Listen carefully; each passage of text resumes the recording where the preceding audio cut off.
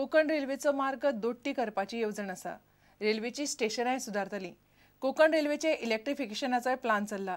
गोवा मुंबय नवी रेल्वे फुडल्या धा पंदरा दिसांत सुरू जातली. एकतीस जानेर म्हळ्यार मडगांव स्टेशन वायफाय. गोंयांत आयिल्ले कडेन केंद्रीय रेल्वे मंत्री सुरेश प्रभू गोंयच्या मिडिया कडेन ह्यो गजाली उलयलो. कोकण रेल्वेच्या ट्रॅकांचे सेफ्टी ऑडिट करपाक सांगलां.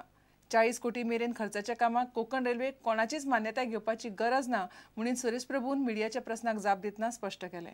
We are now decided to start a special train in collaboration with Goa government and maybe government of Maharashtra over a period of time to promote tourism between Mumbai and Goa. So this train will be run and the circuit can be decided by the Goa government. We can decide the circuit. This could be a customized circuit. This is the railways will give the rakes to ICRTC.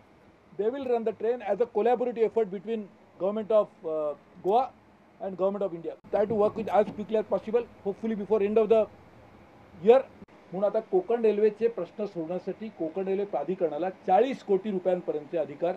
हे मी मंत्री आल्यानंतर पहिल्या तीन आठवड्याच्या आत्महत्येला निर्णय घेऊन माझी फाईलवर सही पण झाली.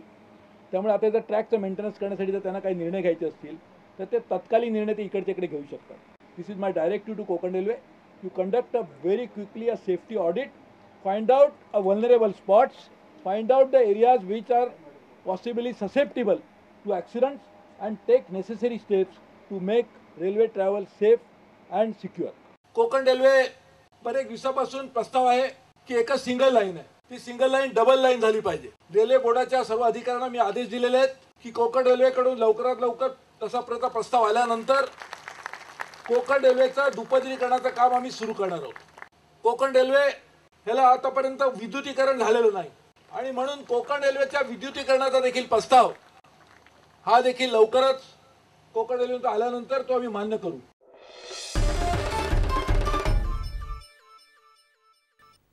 घेऊया एक विराम.